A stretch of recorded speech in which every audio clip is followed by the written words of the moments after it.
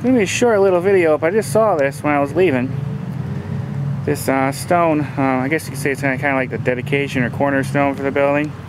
It's Dwight D. Eisenhower, President of the United States, 1957. So I'm assuming this is um, when this building was built.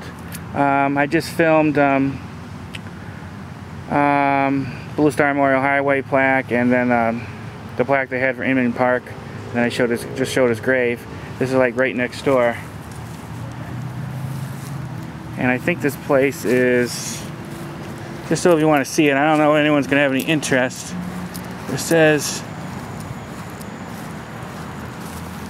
uh, come on, Citrus and Subtropical Products Laboratory, Agricultural Research Service, U.S. Department of Agriculture. But it's right next to uh, Avenue S Northwest, I think, thanks of. If you're interested in looking for these type of plaques, just like seeing them in history or just like Dwight D. Eisenhower, it's right here. I thought it was pretty cool. Good old Ike. Nice. Thanks for watching. Bye.